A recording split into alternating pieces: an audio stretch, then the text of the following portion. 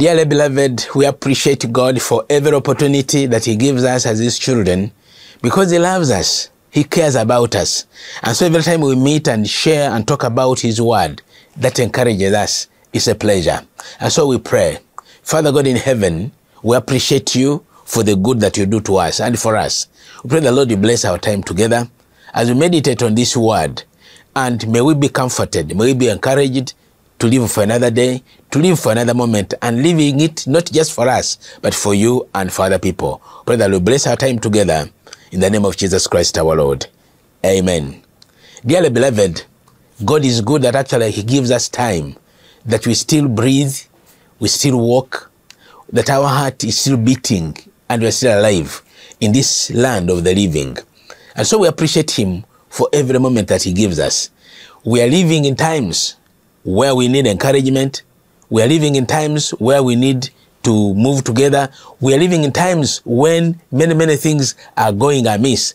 But now listen to this, that actually we're going to share about the person and the personality that we're going to, to talk about, to think about, to pray about, and meditate about is the person, the name Nehemiah. Nehemiah is a name of a person. Nehemiah exists in the Bible. He was one of the biblical figures. He is one of the key people that stood out during his time, the time uh, when they were in exile. He is a person who stood out during his time and therefore he is written about. The Bible writes about him. And in these portions of scripture that we're going to read, he has a book bearing his name. And the name is Nehemiah. And just like any other Hebrew name, just like any biblical name, Nehemiah name has a meaning. And the meaning in the Hebrew, the original Hebrew means God comforts, or rather comforted by Jehovah. And so I, when I read about it and when I think about it, and when you pick the Bible to read Nehemiah, just know that actually it is about God comforting, comforted, comforted by Jehovah. And so this book stands out for me also, just like other biblical figures, Nehemiah also stands out. And it's my prayer that you and I will pick something that will encourage you, that will energize you, that will revive you to be a person of impact. How was Nehemiah a person of impact during his time? In the king's palace where he was serving, and among the people of Israel that um, his heart went to because he also belonged to them. And even, I mean, everybody around him, a person of impact. And it's our desire that our world will be a better place to live in. Our church will be a better place to pray in. Our families will be a better place to stay in. And Nehemiah's spirit is what I'm praying for. And so, in his book, I just want to read opening verses, just like we have always done, and they will set pace for us. There will be a basis for our engagement. And so the Bible says in Nehemiah 1 that the words of Nehemiah, the son of Hakaliah. Now it happened in the month of Chislev in the 20th year as I was in Susa, the citadel, that Hanan, one of my brothers, came with certain men from Judah. And I asked them concerning the Jews who escaped, who had survived the exile, and concerning Jerusalem. So he asks them, How is home? How are our people there? And in verse 3, that they reported back to him and said, The remnant there in the province who had survived the exile is in great trouble and shame, trouble and shame. The wall of Jerusalem is broken down, and its gates are destroyed by the fire. So they gave him a report of what was, how home was, his city, Jerusalem. And in verse 4, this is where the matter is. And he said, As soon as I heard these words, I sat down and wept, and mourned for days. And I continued fasting and praying before the God of heaven. And in verse 5, he prays, the prayer is made, and which I'm not going to read entirely. But he begins his prayer this way in verse 5. And he said, O Lord God of heaven, the great and awesome God who keeps covenant and steadfast love with those who love him and keep his commandments. Let your ear be attentive and your eyes be open to hear the prayer that your servant am now praying before you today. And so Nehemiah does pray. But this sets us the context about the man, Nehemiah. He is in Persia, he is in exile, but in a very privileged position because when you read, you go ahead, you'll find that actually Nehemiah was serving in the king's palace and he was in a privileged position of a cupbearer, someone who was very close to the king of the nation.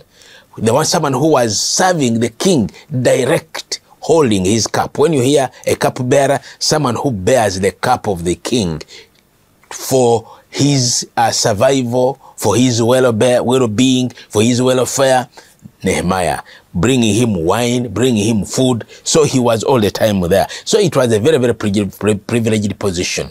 But listen, he was there, but his heart was not just content in the luxury in the king's palace, but his heart was also back home with his people. The reason why when these people came, he asked them, How is home? How is Jerusalem? And they give him a report that the walls are broken down, the people are in agony, the people are in shame, the people are in trouble. And so, because of the news that he had, the Bible says it all wrote itself on his face. He wept, he cried. And Nehemiah um, had to carry on. He didn't panic, he didn't hurry with what, but he kept it in his heart. Something that I treasured very, very much. He received the news, Yes, he did. He kept it with himself and until there was an opportune time before King Artaxerxes of Persia at that time and and, and, and, and he, he powered out his heart. And so as a cupbearer, a very privileged position in the king's palace, he had close contact with the king. And he was recognized, he was among the recognized leaders that were living in exile at that time. And so, Nehemiah, a man of respect, was close and a confidant to the king. He had close contact, and therefore he wanted to use those contacts. He wanted to use that closeness to this higher, with the higher authority. He was filled with sadness, yes, when he heard the news, and when he appeared, an opportunity came for him to appear before the king. He proved to the king that something was not right in his heart. But all the time, he had been a jolly man, happy. You know, this one teaches me something that when, when situations arise and your personality is a jolly personality, you are an outgoing personality, you are able to show. People can be able to read your moods. And then this time, he is not well. This time, he is well. Now, Nehemiah, because all the time he was a person who all over and serving the king happily, but when there was trouble, the king was able to interpret from his face. Wearing a sad face and because of the troubles that had been home. And so he continued his story. And so when time is permitting for you to be happy, be happy, be jolly, and let people know a little bit about you. There will be there can there can come a moment when your personality can contribute something. Nehemiah's personality contributed something to the welfare of the people of Israel. Listen to me. The king looked at him when he took the wine. And the king said, Nehemiah, this is not you that I know. And we pray the Lord that actually the king was able to not sit by himself, and this brought the fruit to the people of Israel, to the wall that had been broken down, to the wall that had been burnt with a fire. And so he was given permission. And so when there is time to work well with your leaders, with your bosses, do it because actually it will it will work very very very nicely when an appropriate time comes and i've learned from nehemiah that actually because of his good workings with the king, the leader. He had not misappropriated his time. Many, many people misappropriate their time before their leaders. And things don't go right. But when you are in one accord with those that supervise you, as long as there's an opportunity with those that supervise you, please do it. So that actually that cordial working relationship will work at a time when you need it most. Nehemiah needed it most for the uh, for his people, and it worked here. So he was given permission. You read on Nehemiah, just a few chapters there. Chapter one, chapter two, chapter three. He was given permission. He was given letters to go. First of all, permitted go, and then given letters of introduction go, and not just letters of introduction. The Bible said that the king gave him escorts, escorts to for his security. And therefore Nehemiah was commissioned to go and build, rebuild the walls of Jerusalem. And so all was done because of his earlier good working relationship, cordial with the authority that was. And so he reached Jerusalem after all is done.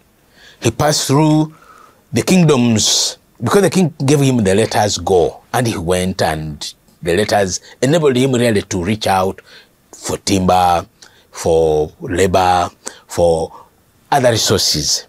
But I am grateful to God that this book is written here for us to learn something that in everything that we do, one, you do it for your own good, but also you do it for others, others to benefit from your good relationship with others. I value it very, very much. And so he gathered the people. One attribute that he did, he gathered the people and they began to work on the wall. Read this book, chapters 1, 2, 3, and continue on. He gathered the people and they started the work. Now, one thing that comes out about Nehemiah is that actually he did great research know about the problem, diagnose properly the problem, and then start on the right footing. Nehemiah knew where to start, he knew where to go, he knew how to do it, he knew when to do it. Even while he was still in the palace of the king in Persia, he knew he didn't panic, he didn't hurry, he didn't become, you know, he was not overtaken by feelings, by emotions, but he controlled himself, which is a virtue really which is a virtue really. And so we pray that God, who enabled Nehemiah to do great things because of his own personality that he had handled very well before the king, because of his good working relationships that he had maintained with the king, he was able to get back home and help his people. And so I appeal that as we learn about Nehemiah, whose name means God comforts or comforted by Jehovah, comforted by God, I pray that God will enable you, whoever you are, wherever you are, whenever you are. I've used all those so that actually remain relevant to the people, but also remain relevant to yourself. Now, Nehemiah, one of the things that I want, I want to dive in now very, very quickly to, to streamline the way, the way they are. The lessons direction that we pick. One of them is that Nehemiah had unshaken belief in the sovereign God. You see, he was over there. Although his parents were Jewish, but he was in a foreign land, thankfully, he was in a privileged position. And while he was in a privileged position, his mind was back home in Jerusalem. He kept thinking about them. And an appropriate time came, he was able to uh, to get the news. And so he had unshakable faith, and unshakable belief in God. And because of that, he availed himself to be used of God. There are some people who get privileged positions and they forget their inheritance. They forget their heritage. Nehemiah never forgot. Even when he was in the state house, even when he was in that position, he never forgot that he belongs among, he belongs among the Jews.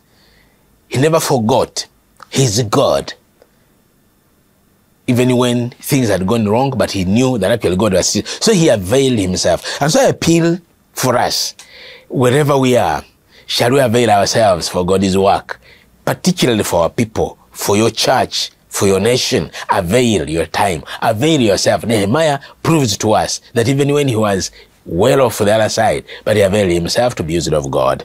He was available in this grand scheme of God's divine purpose, and he came out.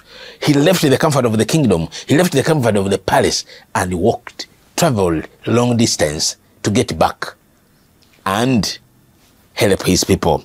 So, therefore, we need to set our focus. Please set your focus on the Lord God. And it has appealed to me to set my focus unto the Lord my God. And in every bit of my work, may I involve God. May you involve God. Where are you? Who are you? And what are you? Involve God in all your work. And so, when he went back in chapter 2, verse 17, when he gathered the people, he asked them a question.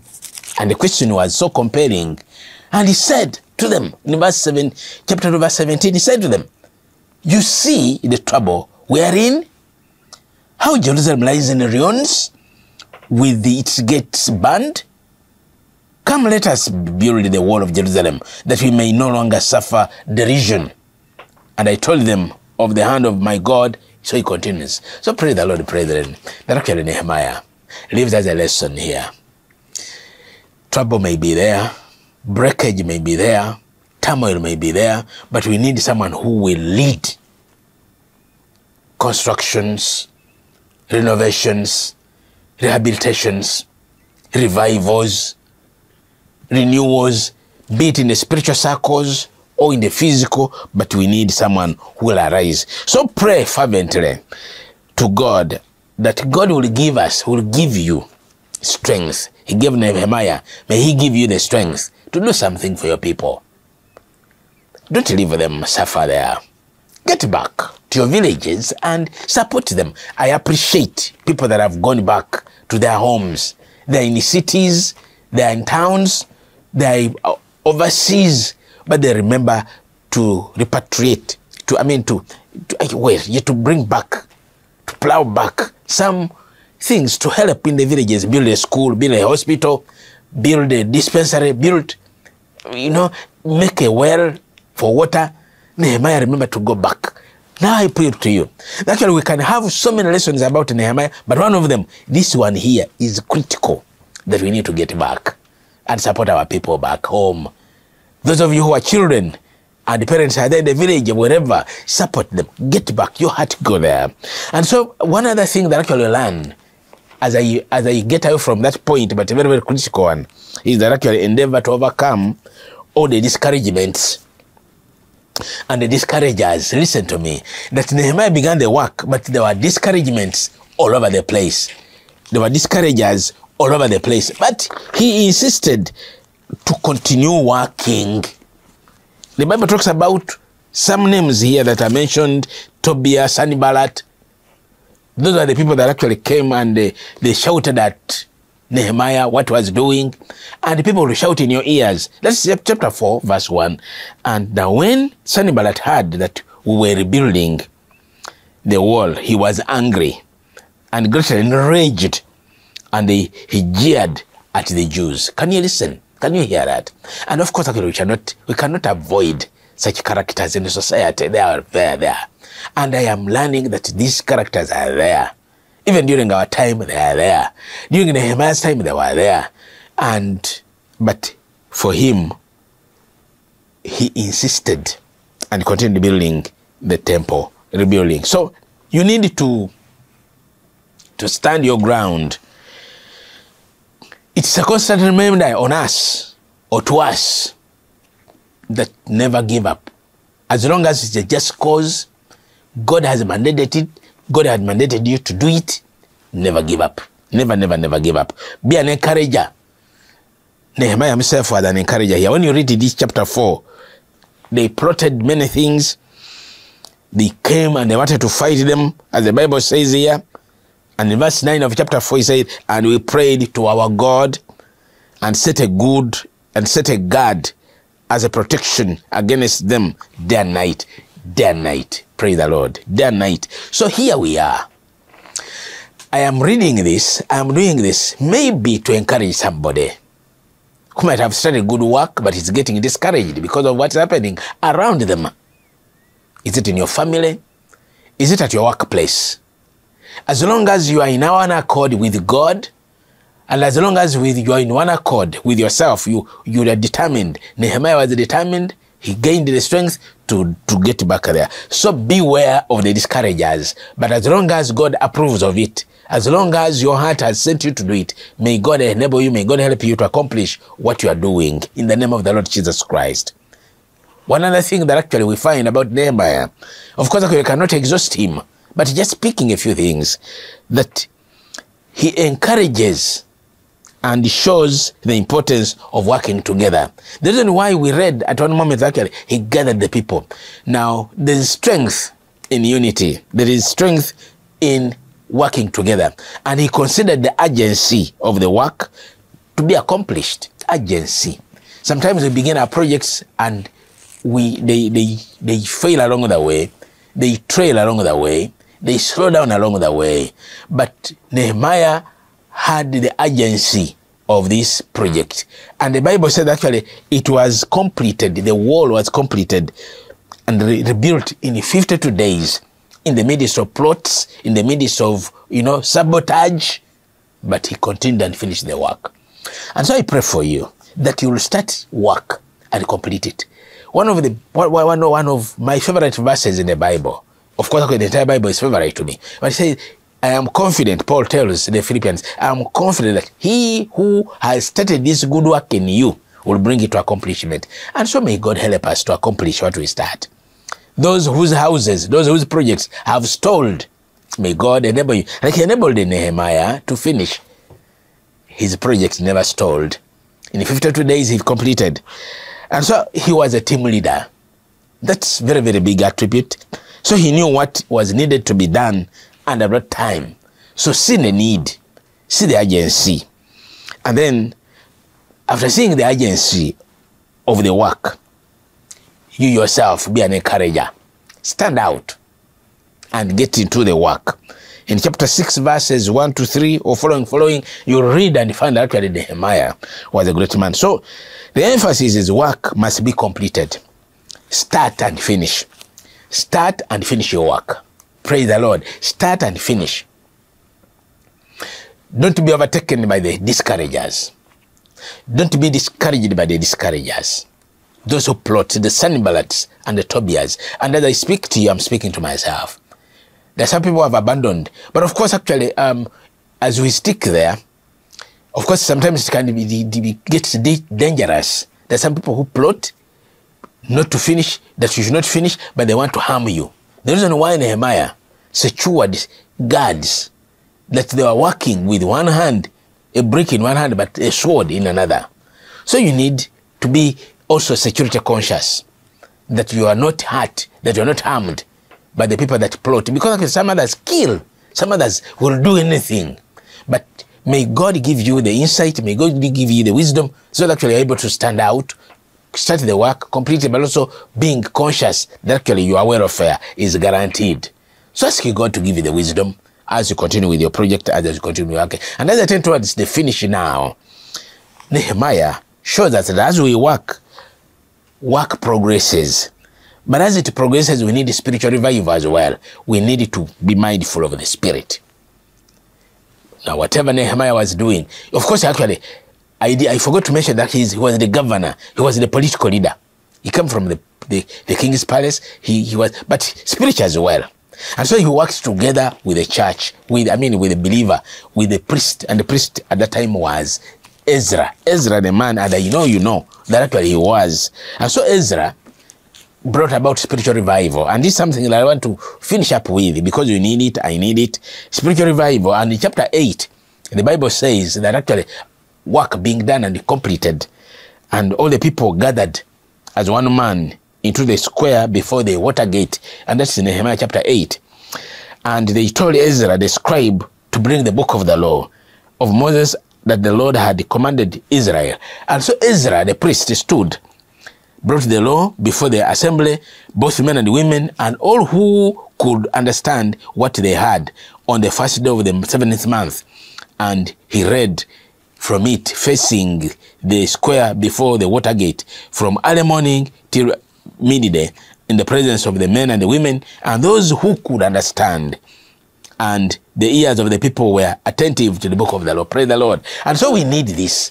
That actually we do physical, economic development, but also the spiritual. Now, this chapter 8, I dedicate it to you. You read it and see what Ezra did as a priest, as a scribe. And so we need spiritual revival during our time.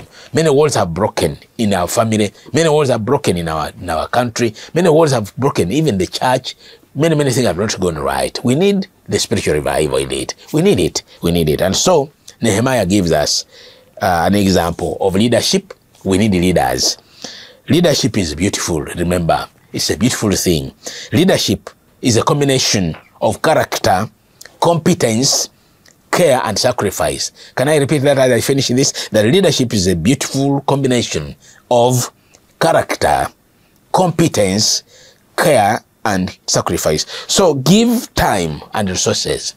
So may God, who started this good work, who enabled Nehemiah, also enable you. And may He enable me. May He endow us with a spirit of commitment and determination. And we offer leadership in all spheres of life, what you are, where you are, wherever you are, and how you are. May God enable you like He was with Nehemiah. In the name of God the Father, and of the Son, and of the Holy Spirit. Amen.